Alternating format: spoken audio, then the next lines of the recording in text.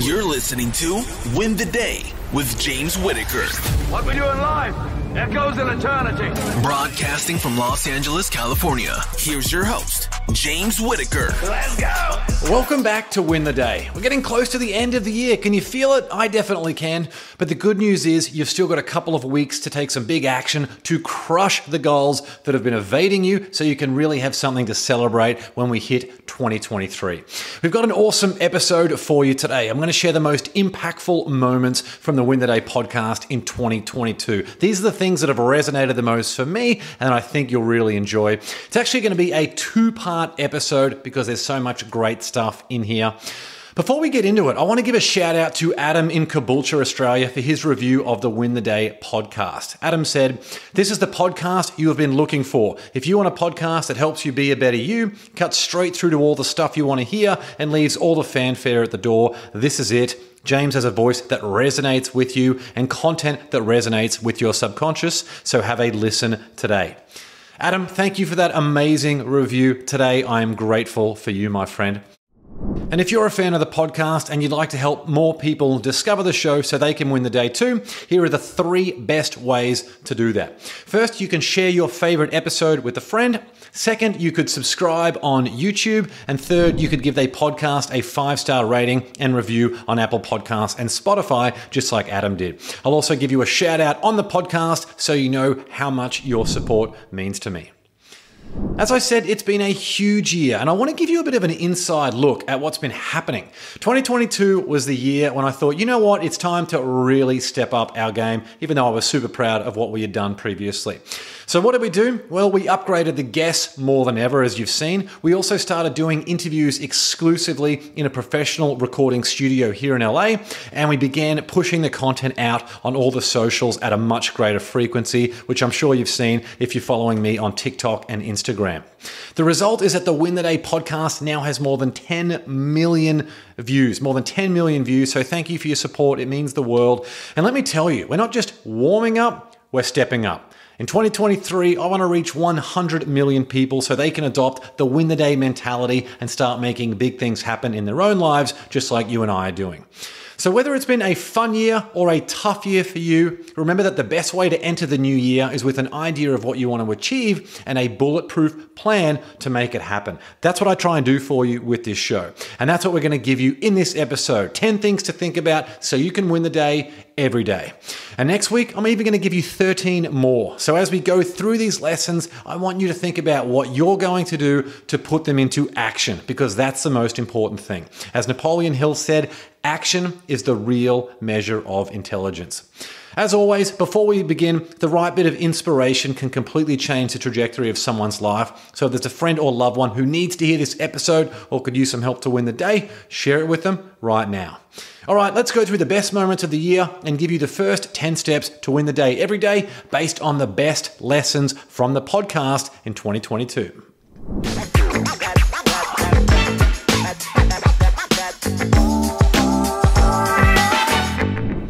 Number one, accept what's happening in your life. You can't move forward in a sustainable way without accepting where you're at. And often that can be an extremely daunting thing to confront. In episode 89, resilience expert and five time best-selling author Janine Shepherd came on the show and said, Acceptance is actually the first step in my 12 steps to resilience. And acceptance is so important because I call it the doorway. You've got to get to the doorway. You've got to accept whatever is happening in life. And for me, it, it wasn't till you know the point where I got to it when I got home from hospital in a wheelchair and plaster body cast as a paraplegic, having to accept that all of the goals I had in life, going to the Olympics and all the other dreams and goals I had were gone. I really had to accept that before I could move on. It was almost like life was saying, you know, let go of those things and then I'm going to show you something better. Um, I always say that life is a series of loosening our grip on how we think life is supposed to look. And it's a challenge because we live in a world with, with social media. We see everyone else's life. Oh, they're all doing so well. And it's just, it's smoke and mirrors. They're not. Everyone is struggling with something. And so I really, I mean, I urge people too to sort of limit their time on social media and really spend time in their own um, circle of influence, what they can control. That's your opportunity to accept where you're at and what trajectory you're on so you can start to focus on the steps that will get you in the right direction to give you some momentum and start brightening your life a little more with each day. So that's number one, accept what's happening in your life. Number two, reconnect with your purpose each day. A lot of people in the Win the Day community talk about how to win the day, you need to win the morning, and I love that. One of the most important components of your morning routine, especially if you're super busy or finding it hard to get balance, should be to reconnect with your purpose every day to remind you of what it's all for. In episode 71, Prerna Gupta, who has people like Ashton Kutcher, Jamie Foxx, and LeBron James investing in her company, shared this. I mean, you are out there on your own. Everyone is writing you off. And back then, especially being a founder was not cool. I mean, when I quit my job, you know, I remember I, I majored in economics at Stanford, like all of my friends were in consulting and, and finance and you know four years into my failed startup they were on, off to business school at stanford and harvard. And, and here i was just with nothing to show for for my decisions. And they thought i was crazy. But you know so everyone was writing me off. But it was really just you know there there were those days where i woke up just asking myself like what am i doing? And why am i doing this? And do i still believe in myself and, and, and in my dreams. And every time I asked that and really dug deep, the question was, I'm doing this because it's the only thing I can see myself doing. It, you know, there wasn't really a question. I'm not going to go back to that stable career path because it just doesn't inspire me. And what inspires me is creating these products that have the potential to, to bring joy into people's lives. And that was really always my mission um, with the startups that I did. And I just felt like I honestly just kind of almost felt like there wasn't a choice. you know, this was what I was meant to do and the only thing that would fulfill me. And that's what kept me going. So, tomorrow, when you wake up and you take a moment to yourself, check in on whether you still believe in yourself and your dreams. When you can do that from a clear headspace, you'll find that intuition guides you to the right decisions automatically, and you'll find a lot more meaning in every action you take throughout your day. So, that's number two reconnect with your purpose each day. Number three, start selfish and then share your expertise. I don't want you to misinterpret this one. The idea is that you should focus on developing some type of specialized knowledge, some type of skill first, and then try and share those gifts with the world, not the other way around. This comes from Kenny Aronoff, who's one of the most accomplished musicians of all time. But he only got to that point by spending thousands of hours, probably tens of thousands of hours, behind closed doors, where no one could see him mastering his craft. That selfish and that relentless focus gave him a skill, an ability to play the drums better than almost anyone else in history, and led to him selling more than 300 million records and playing with some of the most iconic musicians on the planet. In episode 91, Kenny revealed a bit about that mindset. In order to me to be the drummer I became, or I'm still trying to be, oh my God, it was all about me. Practicing eight hours a day. Day I graduated high school. Practice, practice, practice. Me, me, me. How do I sound? How do I look? What do you think, Teach? What do you think? That, what do you think? That's fine, but in order to be really successful and stay successful, you pivot from not, it's not about me. How do I serve the artist? that I'm working with, the band. How do I become the greatest drummer I can possibly be for that guy's music, that band? How do I serve the musicians, the producer, the engineer, the record label? Serve you, serve me, serve everybody. What can I do?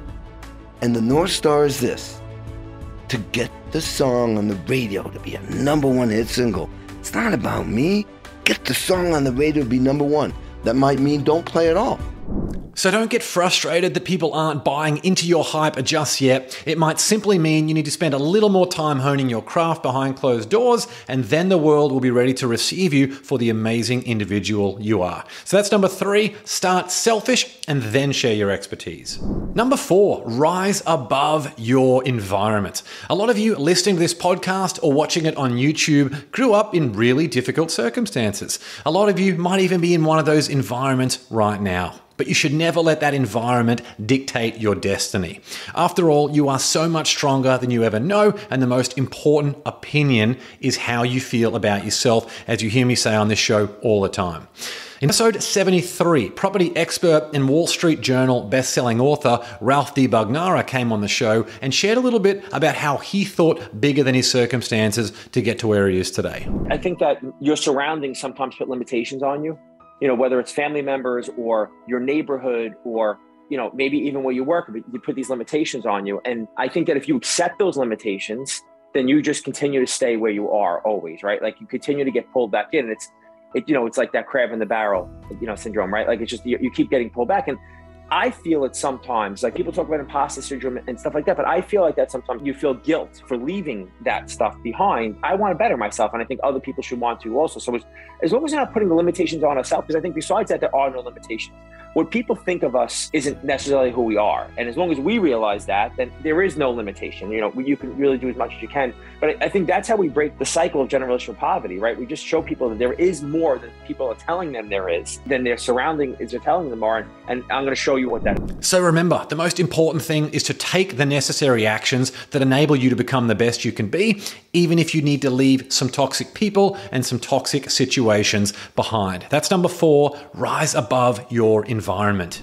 Number five, focus on progress over perfection. This came from Kurt Seidensticker, who's the founder of billion dollar health brand Vital Proteins and a former rocket scientist. When you're focused on perfection and that perfectionist mentality, you get stuck what you really need is action to create momentum so you know then what needs fixing, and then you can make those adjustments as everything gets better and better and better around you. Here's what Kurt had to say and how that mindset helped him build a billion dollar company. Some of them are like progress over perfection. I mentioned when I worked for NASA, it's all about perfectionism, right? But you don't make any progress. That was my challenge at NASA. I wanted to do more things. I always teach the company move very quickly. Mm progress over perfection. And, I, and a lot of people, people want to do so well with their work and they want to be really good, but you miss the market opportunity. Uh, the other one is part of that progress over perfection is fail early, fail often, meaning failure is probably the biggest element of success. And if you're afraid of failure, you're afraid of success, right? Because you're not out there actually learning from your mistakes. You're not out, actually out there improving what you're building.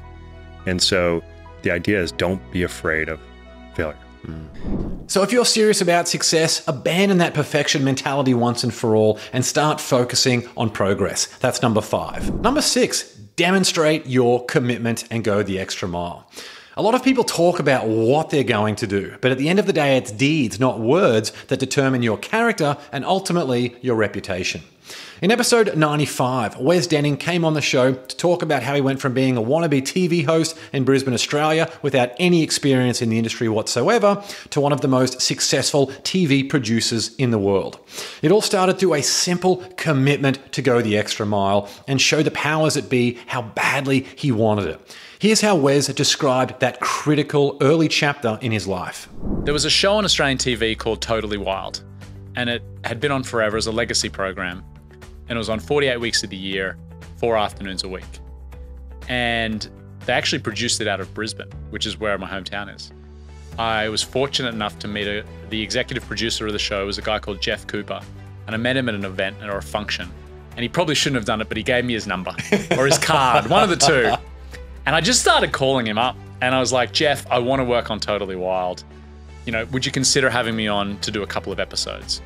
And he was very polite. And then I kept calling him and I kept calling him and he stopped taking my calls. and as soon his assistant would take the calls, hey Wes, nice to hear from you. And I probably called three or four times. And then eventually the call came back and they said, hey, we're willing to have you come in for two months. It's going to be unpaid and we'll have you on two days a week. I said, done. I'm in, like no problem at all. And I actually started coming in five days a week. I just came into the office every day. And if I wasn't working on a story, I'd write scripts, I'd pitch my boss, I'd, I'd, I'd, try and help out. I just wanted to be part of the environment and to learn. And, uh, and after six months, oh, sorry, after two months, I was offered a six month talent contract on camera. And then after that six months, it became like a producing contract. And so when I was at Network 10 in Australia as a 21 year old, I was there for five years. I was very, very fortunate because it's where I learned how to make TV. So we, you know, every day I'd be making stories for Totally Wild writing scripts, going in the field and shooting them with one camera, coming back to an offline machine where I'd do a paper edit, going in with the editor to make a three or four minute segment that would go into the show every night or every afternoon. And in that time, I got to do, you know, Totally Wild, which was a travel adventure show. I got to do live news. I got to do New Year's Eve live telecasts. I got to do sports programming at 10. I got to do three different documentaries at 10. Um, and then I got to, I developed and produced a series on life in Antarctica and spent six weeks living in Antarctica. And that series did extremely well. I'm so grateful that, you know, I didn't make a lot of money in that time, but that's where I learned how to make TV. So it was those early years of just grit and persistence and belief. Now, Wes, he's a humble guy. I know him really well, so he's actually underselling just how committed he was. If you're serious about a career and want to get the ultimate foot in the door, demonstrate your commitment, and that only comes through your actions and proving how badly you want it. That's number six. Number seven, hone your uniqueness into greatness. There's a lot of hype around greatness, but for a lot of people, it's too much of a leap to go from where they are now to being the great person that some people tell us we're capable of, whether that's a well intentioned friend or an optimistic parent.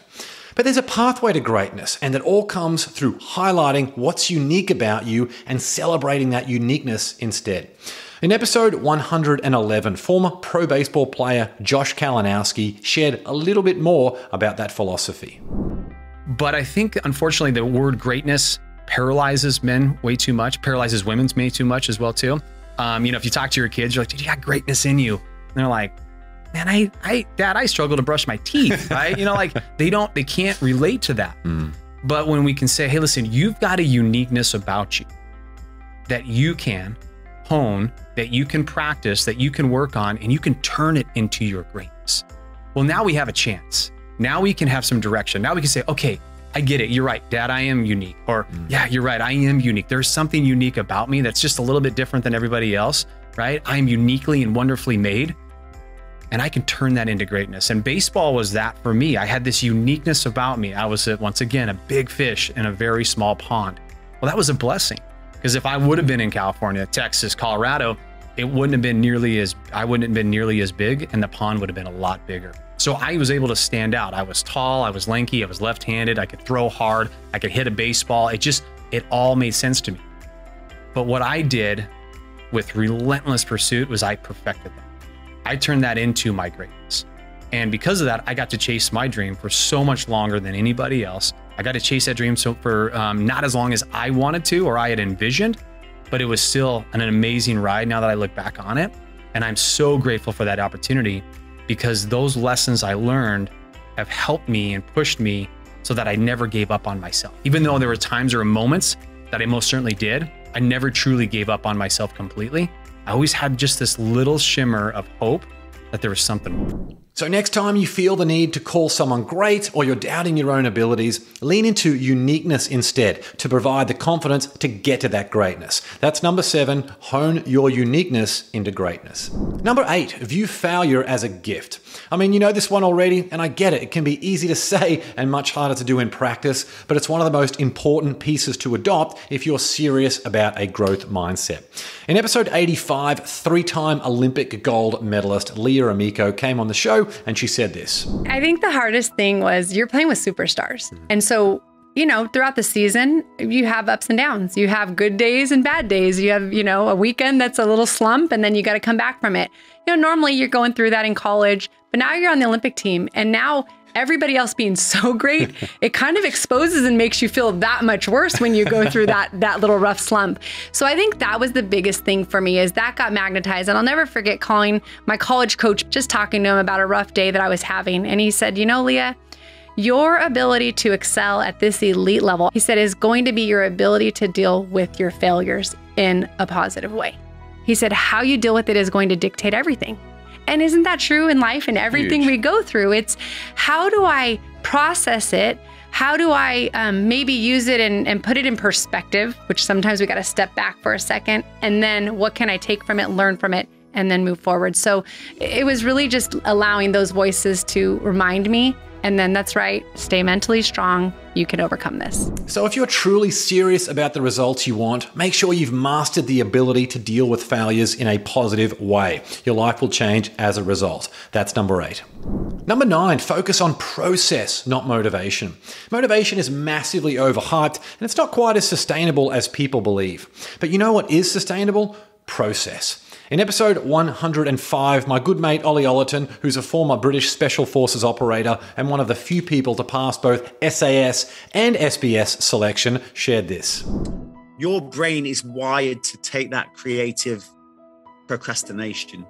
It will try, you know, your, your brain says, go check your phone, check your email. It's looking to try and steer you in a path that's going to avoid the unknown stress that's about to happen you know and that for me is is the point i'm getting to is process is what gets me through that. Process i i've got to switch off the emotional messages going on in here and just follow process. I know at that point i wake up i don't need an alarm, alarm clock anymore you know because i'm so used to getting up at that time. So i wake up i know straight away i've got to get out of bed you know and that's a process. Get out of bed get up go downstairs do this one, da, da, da, this, that, and the other. You follow the process, put your trainers on, get the dog, take a step outside. As soon as you close that door, everything changes. You know, so really for me, it's about process. Process is so powerful.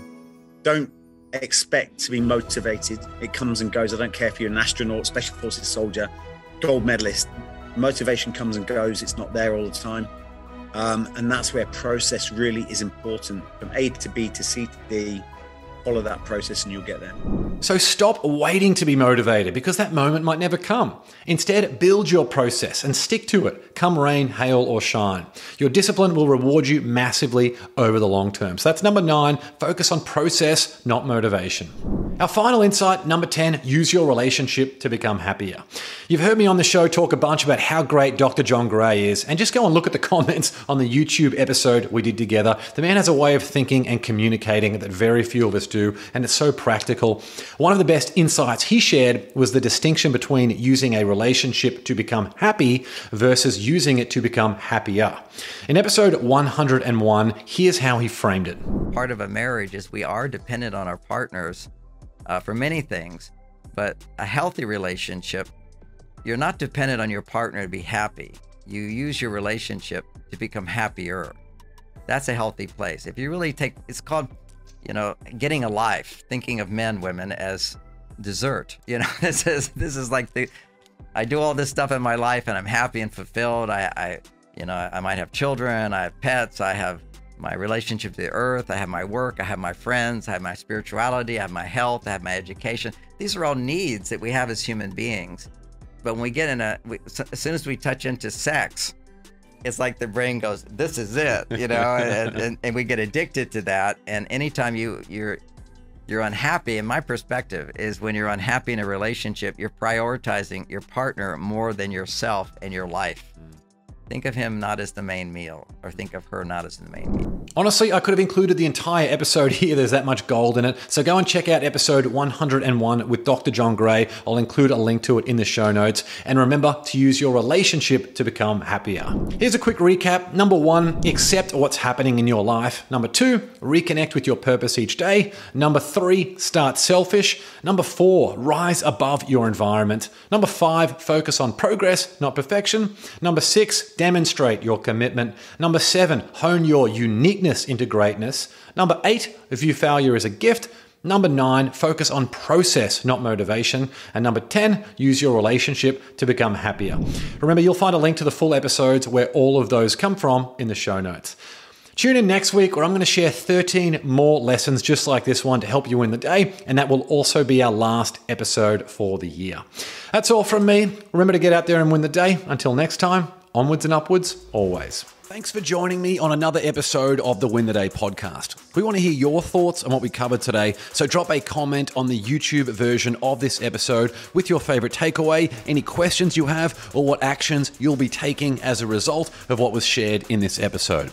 And if you found value in the Win the Day podcast, leave a five star rating on Spotify and Apple Podcasts. You'll find a link to both of those in the show notes. It'll only take you a few seconds, and more ratings really helps other people discover the show so they can get the mindset upgrade they need, and we can bring more winners into the Win the Day movement. That's all for this episode. Get out there and win the day. Until next time, onwards and upwards, always.